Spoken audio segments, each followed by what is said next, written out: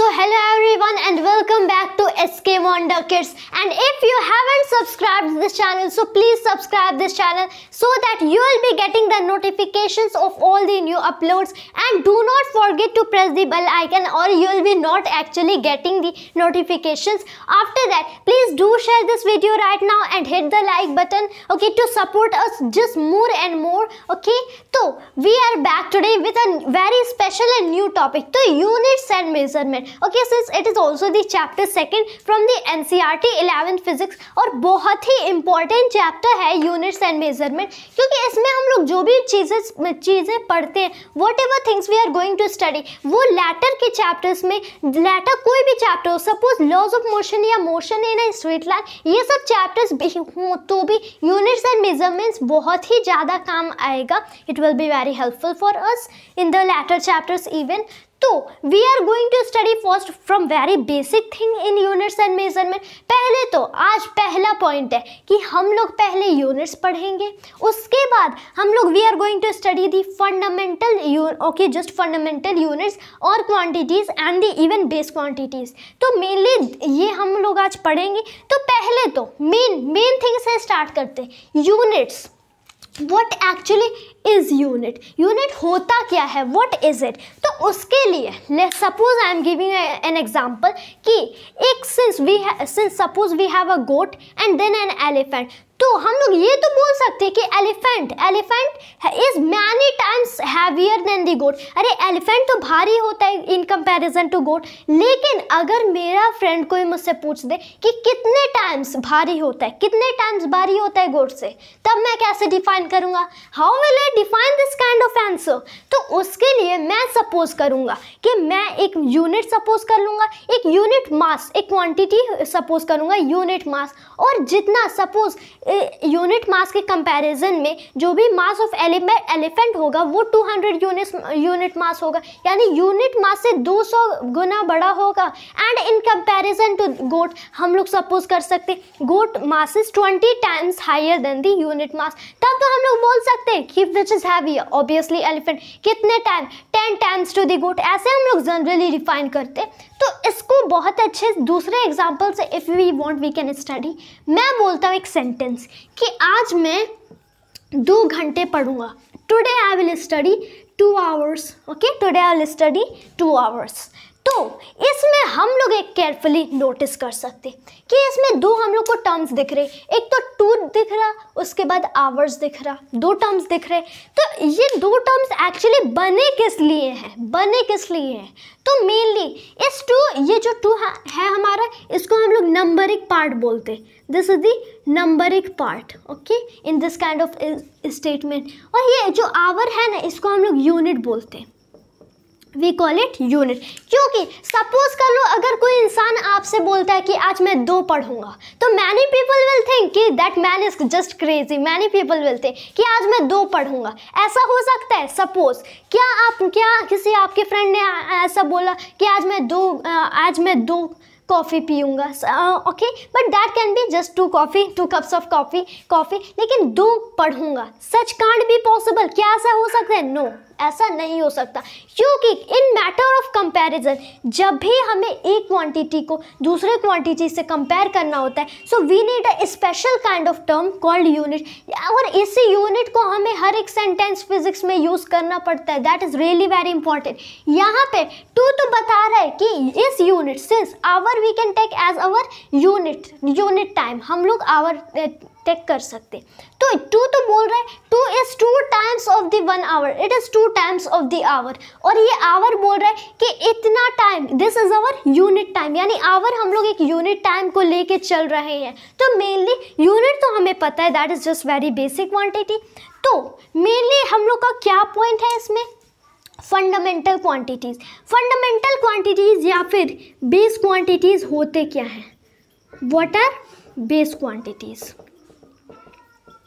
तो उस base quantities जानने से पहले वी वी कैन नो कि in physics we have seven kinds of miss main quantities हमारे पास सेवन क्वांटिटीज़ होते हैं, जिसको हम लोग फंडामेंटल क्वांटिटीज़ भी बोलते हैं और जिसको हम लोग बेस क्वांटिटीज़ भी बोलते हैं। तो मेनली इन सेवन का वर्क क्या होता है कि इन कुछ फंडामेंटल क्वांटिटीज़ या बेस क्वांटिटीज़ इसलिए कहा जाता है क्योंकि फिजिक्स में हम लोग को जितने भी फ़िज़िकल क्वांटिटी मिलेंगे, जितने भी फ़िज़िकल क्वांटिटी सारे फ़िज़िकल क्वांटिटी इन सेवन फंडामेंटल क्वांटिटीज़ पे ही बेस्ड होते हैं। That's why they are also called base quantities so हम लोग के पास सेवन क्वांटिटीज़ होते। हैं पहले तो हम लोग बोलते हैं फ़र्स्ट फ़र्स्ट इज़ लेंथ उसके बाद हम लोग बोलते हैं कि सेकेंड इज़ मास फिर टाइम उसके बाद electric current if you want you can call current mainly electric current होता है। उसके बाद thermodynamic temperature thermodynamic temperature okay उसके उसके बाद हम लोग बोलते हैं that is amount of substance amount okay amount of substance this is just substance उसके बाद फाइनली हम लोग बोलते हैं ल्यूमिनस इंटेंसिटी ल्यूमिनस इंटेंसिटी तो ये जो सेवन क्वांटिटीज़ हैं फ़र्स्ट लेंथ उसके बाद मास फिर time then is electric current उसके बाद thermodynamic temperature then amount of substance और सातवां means the last luminous intensity physics में हम इन सेवन क्वांटिटीज़ को फंडामेंटल या फिर बेस क्वांटिटीज़ भी कहते हैं। क्यों? क्योंकि फिजिक्स में since those if we take those are the fundamental quantities तो जितने भी दूसरे फ़िज़िकल क्वांटिटीज़ होते हैं फिजिक्स में all those kind of quantities can be drive from those quantities तो उन लोगों को हम लोग ड्राइव क्वांटिटीज़ भी बोलते हैं। Okay we call those other so mainly just like हम हम लोग के पास फ़िज़िकल क्वांटिटीज़ होते हैं ना, उसमें से physical quantities mainly is divided in two parts पहले तो बेस क्वांटिटी उसके बाद drive quantity base are independent of each other तो लेंथ को मास के टर्म्स में नहीं लिख सकते। Length can be never equals to mass यानी मास क्या भी, कुछ भी मल्टीप्लाई कर लें डिवाइड कर लें ऐड कर लें सब्ट्रैक्ट कर लेंगे। लेकिन फिर भी, तब भी इन दैट केस टू हम लोग लेंथ से मास नहीं ला सकते। Okay mass is independent of length ये जो सात क्वांटिटीज़ हैं, ये अब एक दूसरे से इंडिपेंडेंट है, एक दूसरे पे डिपेंड नहीं करती। लेकिन जितने भी दूसरे फ़िज़िकल क्वांटिटीज़ होते हैं, वो इन सब पे डिपेंड करते हैं। सब पे नहीं हो सकता, ऐसा नहीं हो सकता कि सब पे डिपेंड करेंगे। लेकिन एक या दो पे तो डिपेंड करेंगे। एटलीस्ट टू पे तो डिपेंड करेंगे ही करेंगे। दैट इज़ इंपॉर्टेंट और इसीलिए दूसरे को हम लोग ड्राइव्ड क्वांटिटीज़ बोलते हैं।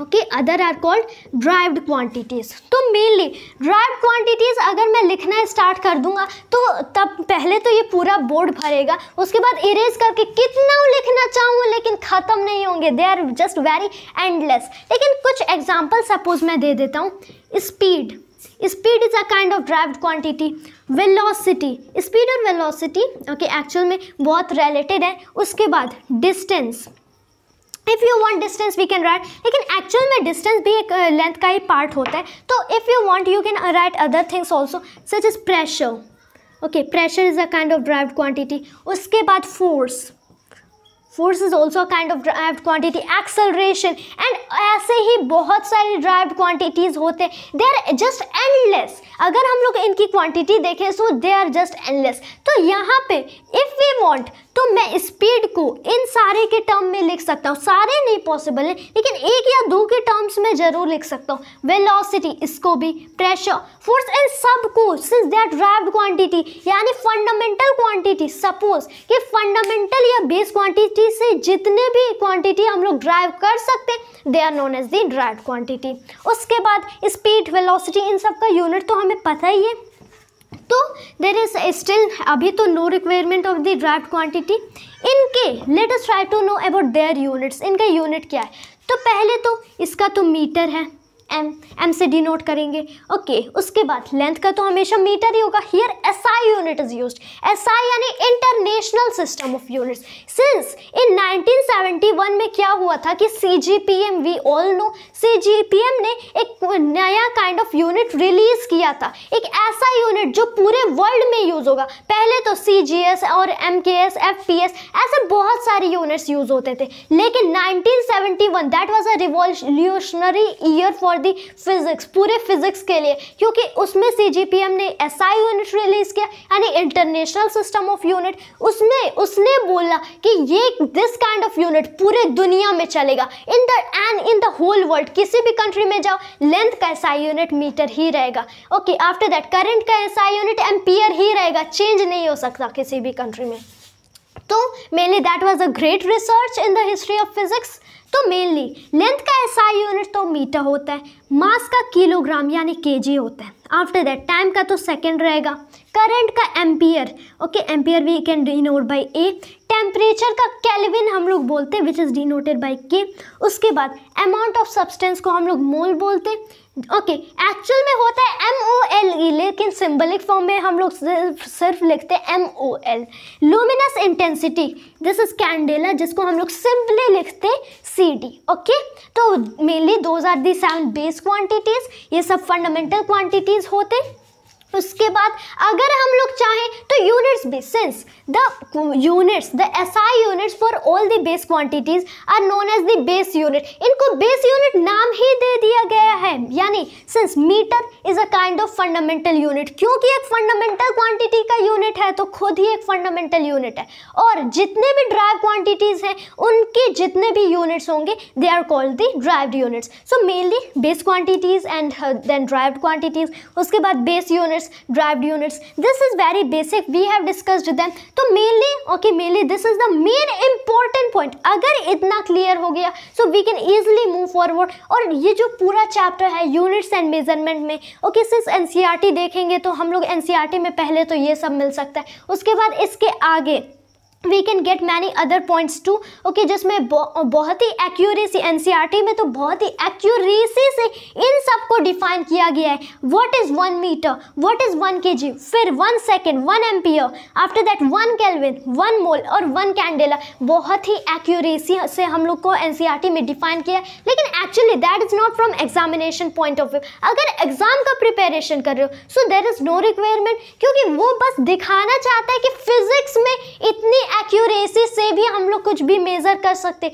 By so much kind of accuracy तो mainly those are the seven base units जिसको हम लोग एंड इफ़ वी वांट तो ये इंडिपेंडेंट होते ईच अदर के, लेकिन बाकी सारे क्वांटिटीज़ इन पे डिपेंड करते। Let me give you an example if I track speed तो स्पीड का formula okay we know distance by time बहुत ही पहले से पढ़ते आ रहे हैं।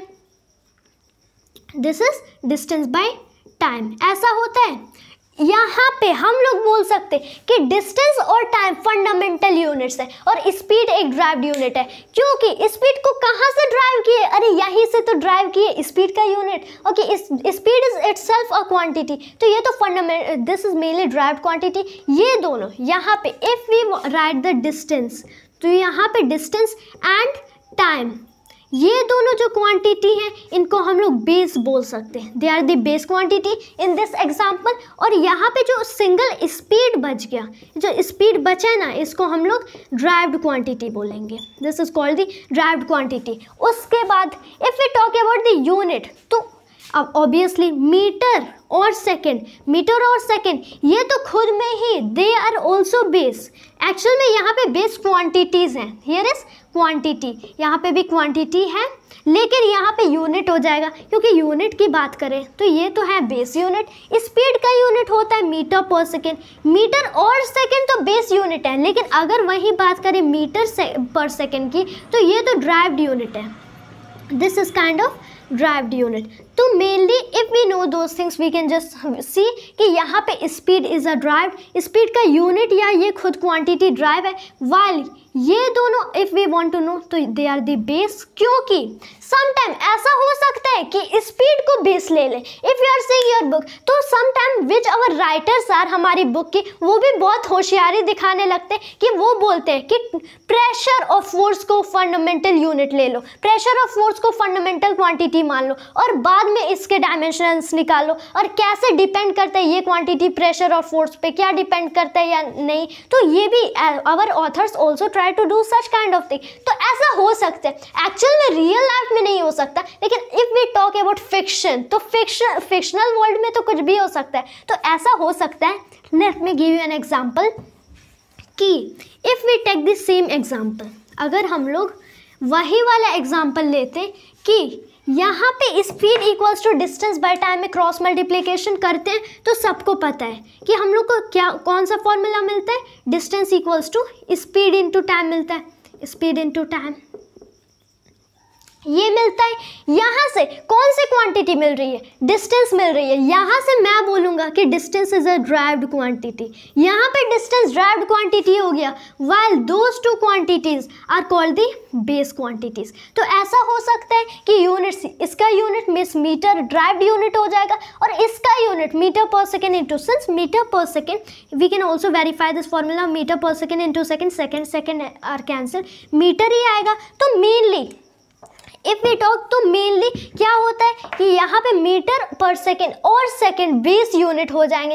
वेल मीटर जो फाइनल आंसर मिलता है, यहाँ से मीटर एक ड्राइव्ड यूनिट हो जाता है। तो समटाइम इन फिजिक्स समटाइम ऐसा हो सकता है। इसको सिंस एक्चुअल में एक्चुअल में स्पीड और टाइम बेस क्वांटिटीज नहीं होती speed and time are not base quantities लेकिन समटाइम हम लोग को सपोज़ करना पड़ता है। और बात करें इस फॉर्मूले की तो ये तो ड्राइव है ऑब्वियसली ड्राइव क्वांटिटी डिस्टेंस हाँ डिस्टेंस भी एक फंडामेंटल क्वांटिटी होता है। ऐसा कैसे हो सकता है? यहाँ पे तो दिख ही नहीं रहा। लेकिन डिस्टेंस की अगर बात करें so from here to here ये पूरा डिस्टेंस है। डिस्टेंस को हम लोग क्या बोलते हैं? What we call to distance short में बोलूँ एक्चुअल में फुल में बोलूँ तो डिस्टेंस तो होता है पाथ लेंथ डिस्टेंस खुद में एक पाथ लेंथ होता है ना the total path length is the distance तो लेंथ एक्चुअल में डिस्टेंस खुद ही में एक लेंथ होता है. In itself distance length होता है. तो इफ़ वी टॉक तो लेंथ खुद ही एक फंडामेंटल या बेस क्वांटिटी है. यहाँ पे चाहो तो इसको डिस्टेंस भी लिख सकते हो. तो डिस्टेंस खुद ही में एक फंडामेंटल या बेस क्वांटिटी है. डिस्प्लेसमेंट की बात करो रेडियस की बात करो डायमीटर की बात करो सरकमफ्रेंस की बात करो, ये सारी क्वांटिटीज खुद में ही लेंथ होती, इसीलिए हम लोग बोल सकते हैं कि ये भी फंडामेंटल क्वांटिटीज होती, लेकिन एक ही कैटेगरी में फॉल करेंगी, क्योंकि इन सब की कैटेगरी एक ही है दैट इज़ अवर लेंथ तो ये सब क्वांटिटीज भी एक्चुअल में फंडामेंटल क्वांटिटीज होती। तो mainly in today's topic there will be only so much in which I have defined about the fundamental quantities और the base quantities and the derive quantities उसके बाद यूनिट्स की बात करके फंडामेंटल यानी बेस यूनिट्स भी आज के वीडियो में बात किए थे। उसके बाद derive units be so mainly this was mainly my today's topic. So this was my today's topic. Thank you. Jai hind jai bharat